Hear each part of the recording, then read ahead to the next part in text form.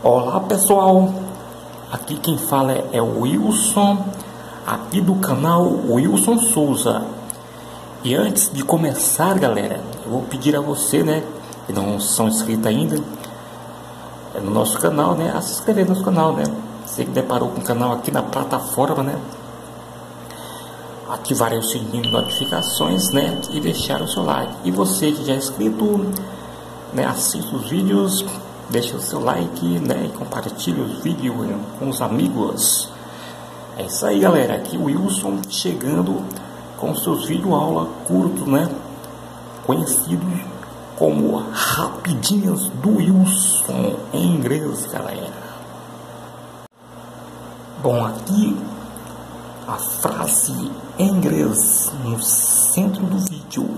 Olha só vamos aprender a pronunciar tanto no inglês como no português, a pronunciar essa palavra, a pronunciar essa palavra tanto no inglês como no português, para ver se há uma diferença. E em seguida a gente, a gente faz a tradução aqui, né?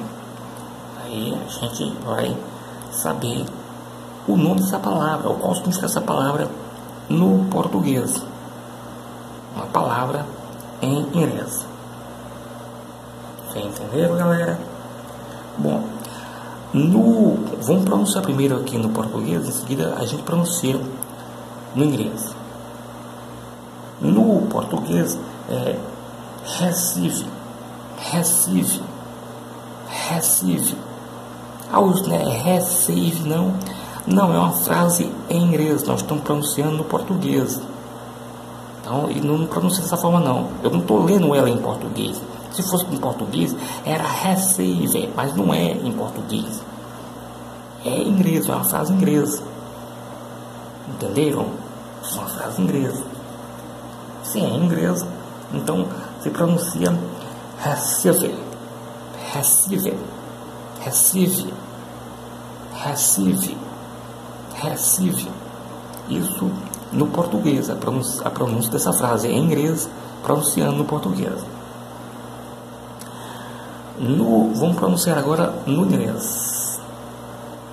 No inglês é Recife, Recife, Recife, Recife, Recife, Recife, Recife. Recife, isso no inglês. É Recife no inglês. Tá certo?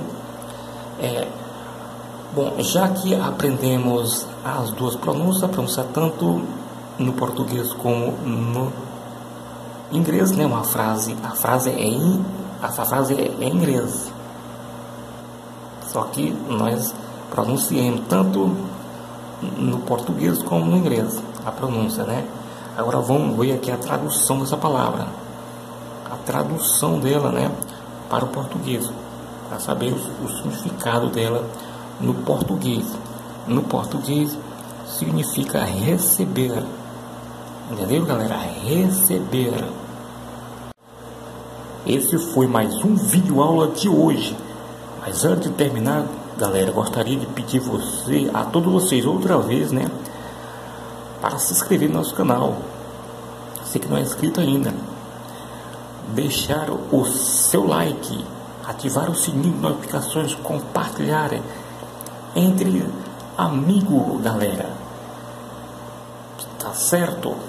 Bom, um forte abraço a todos vocês e até o próximo conteúdo.